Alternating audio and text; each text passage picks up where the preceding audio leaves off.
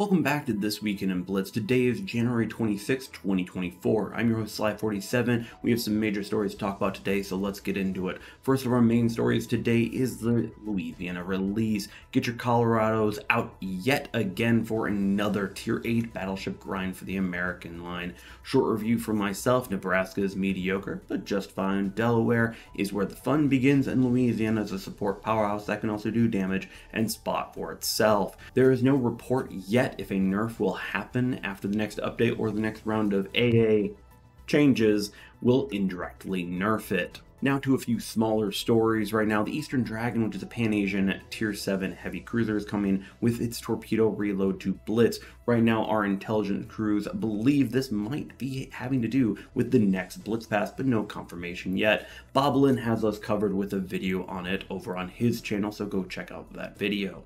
Next small item to cover is the Hector sonar sweep is out and seeing that nothing has changed since its main release, my opinion hasn't either. Save your money for the Vampire 2. For anyone who's wondering about the cost of the sweep, it is about 42,000 gold or about 130 USD or 119 euro. Make your own conclusions from that. Let me know your thoughts down below on the Hector overall. Respawn is back and at tier 7 this weekend, so you get to enjoy the live, die, repeat game mode that so many love near and dear to our hearts. A Blitz challenge is also there corresponding, will only available once per day as the weekend goes by. Now back to yet another one of our main stories of today. Bundles have still yet been found. The missing bundles case has attracted a lot of attention, and we've been told local fleets on each server have been dispatched to areas all around the globe to help find the missing bundles. It's being reported also that flat earthers are mad at that statement.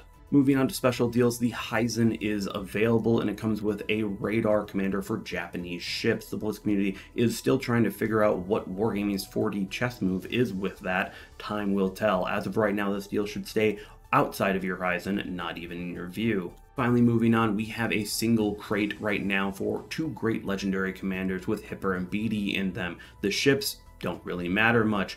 Hipper works on about every single German ship but carriers, but I would suggest Hindi, Schlieffen, and GK myself, with the Schlieffen being my personal pick due to Hipper's offensive nature. BD is mostly for the British Minnow line, but if you don't have Nelson or Jellicoe, he can sub in on many other HMS lines as he generally helps most ships. And looking at my notes, this is all for this weekend in Blitz. Get those AA ships out at Tier 9 and Tier 10 for the new Louisiana line release and get those air kill battle Honor is done. Don't forget to subscribe here to see whenever a new news report goes live. Thank you all for watching, and we will see you next time.